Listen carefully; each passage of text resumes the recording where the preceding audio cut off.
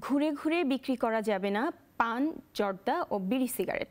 তামাক নিয়ন্ত্রণ সংশোধন আইনে এমন কড়াকড়ি আরোপ করা হচ্ছে। আইন লঙ্ঘনে জরিমানা হতে পারে পাঁচ হাজার টাকা পর্যন্ত। এ পেশায় জড়িত ক্ষুদ্র ব্যবসায়ীদের সংখ্যা নতুন আইনে কর্মহীন হয়ে পড়তে পারেন তারা। আনোয়ার হোসেনের রিপোর্ট। জীবনের তাগিদে গ্রাম বা শহরে অনেকেই ফেরি করে বিক্রি করেন বিড়ি, সিগারেট, পান।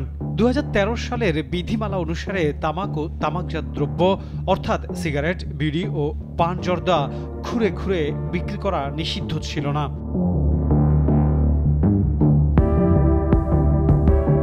তবে নতুন সংশোধিত আইনে এটি নিষিদ্ধ করা হচ্ছে।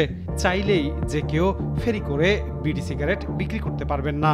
আইনটিতে ফেরি করে বিড়ি সিগারেট বিক্রি করলে পাঁচ হাজার টাকা পর্যন্ত জরিমানার বিধান রাখা হয়েছে। অত্যন্ত ক্ষতিকর যেগুলো পদার্থ এবং মানুষের ক্যান্সার তৈরিতে যেগুলো সরাসরি কাজ করে, এই ধরনের দ্রব্যগুলোর ব্যবহার নিষিদ্ধ করা হয়েছে এবং ফেরি করে বা ভ্রাম্যমান দোকানে তামাক বিক্রি নিষিদ্ধ করার প্রস্তাব করা হয়েছে। এছাড়া তামাকের মোড়কের স্ট্যান্ডার্ড প্যাকেজিংয়ের বিধান প্রস্তাব করা হয়েছে।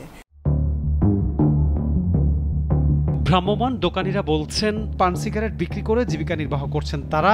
এটা বন্ধ হলে পথে বসা ছাড়া উপায় থাকবে না তাদের। আমার চলার মতন কিছুই নেই। ঘর ভাড়া দেওয়া লাগে খাওয়া লাগে কষ্ট হয়। এটা করে ওই আমি চালাইতে পারি না আমার কষ্ট হয়। ঘর ভাড়া দিতে খাইতে।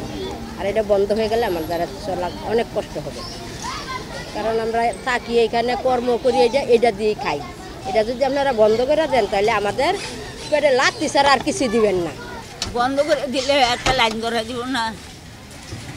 তা আমরা কী করে পাচ্ছিলাম গড়বার আছে, খাওয়া আছে।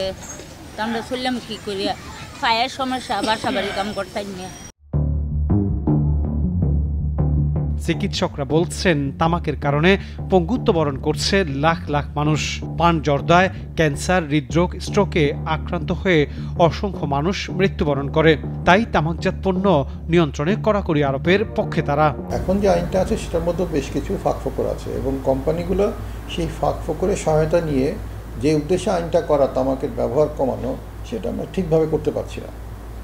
একটা উদ্দেশ্য হচ্ছে তামাকের ব্যবহার কমানো আর একটা উদ্দেশ্য ছিল যে সেকেন্ড হ্যান্ড এক্সপোজার যারা এক্সপোজ হচ্ছে ধূমপাইয়ের আশেপাশে থেকে, তাদেরকে রক্ষা করা, সে অনেকগুলো উদ্দেশ্য নিয়ে আইনটা করা হয়েছিল। কিন্তু দেখা গেল যে আমাদের আইনে একটা জায়গা আছে যেখানে আমরা বলছি যে পাবলিক প্লেসেও ডেজিগনেটেড স্মোকিং এরিয়া রাখা যাবে মানে ধূমপান করার জায়গা রাখা যাবে। কিন্তু আপনি একটা রেস্টুরেন্টে গেলেন, একটা কর্নার ঠিক করে দেওয়া যাবে যে ওখানে ধূমপান করা যাবে। তো এটা আইনের মধ্যে বলা আছে যে করা যাবে। আমাদের গবেষণা বলছে আসলে তামাক কিন্তু কারও খুব কম পরিমাণ মানুষের মূল ব্যবসা। এটা অন্যান্য পণ্যের সাথে থাকে, অন্যান্য জায়গাগুলো থাকে। তো সেই ক্ষেত্রে খুব বেশি জনগোষ্ঠী ক্ষতিগ্রস্ত হবে না।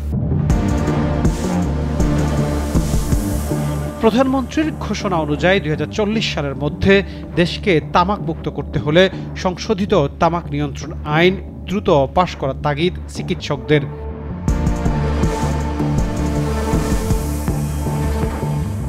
আনোয়ার হোসেন, নাগরিক, ঢাকা।